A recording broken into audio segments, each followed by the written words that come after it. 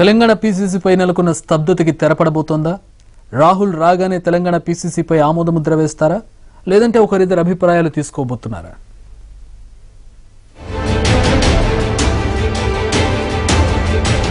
తెలంగాణ కాంగ్రెస్కి సారథి నియామకానికి line clear కాబోతుంది. విదేశాలకు వెళ్ళిన రాహుల్ గాంధీ తిరుగు ప్రయాణం కావడంతో ఈ అంశం తేలిపోబోతుంది. ఎన్నాళ్ళు రాష్ట్ర వ్యవహారాల incharge Tagore party general secretary KC Venugopal రాష్ట్రంలోని ముఖ్య నాయకుల అభిప్రాయాలు తెలుసుకున్నారు. సీనియర్ నాయకులతో సంప్రదింపులు కూడా జరిగాయి. కొందరు సీనియర్లను ఢిల్లీకి పిలిచి పీసీసీ నియామకంపై అభిప్రాయాలు తెలుసుకున్నారు.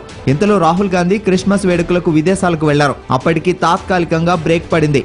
ఇప్పుడు అంతా సిద్ధం చేశారు ఇన్ఛార్జ్ ఠాగూర్. ఠాగూర్ వేణుగోపాల్ ఇచ్చిన నివేదికపై మరోసారి సోనియా రాహుల్ చర్చించి నిర్ణయం తీసుకోనున్నారు.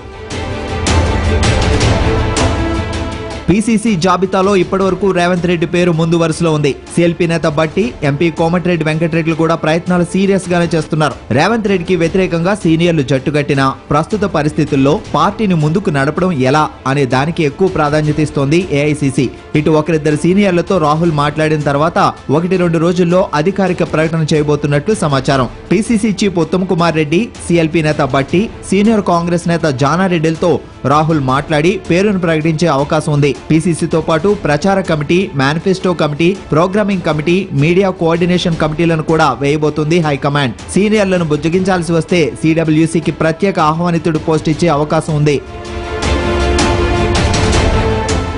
గతంలో పీసీసీని ఏఐసీసీ నియమించి ఊరుకునేది. కానీ ఇప్పుడు పీసీసీలో బాడీ మొత్తం ఏఐసీసీనే నియమిస్తోంది. ఇటీవల తమిళనాడు పీసీసీ ఆఫీస్ బేరర్లను కూడా ఏఐసీసీనే ప్రకటించింది. ఆమోదం కోసం అధిష్టానానికి పంపడం ఆనవాయితీ. అయితే తెలంగాణ పీసీసీలో అన్ని పదవులు ఏఐసీసీనే భర్తీ చేస్తుందన్న టాక్ మాత్రం ఉంది.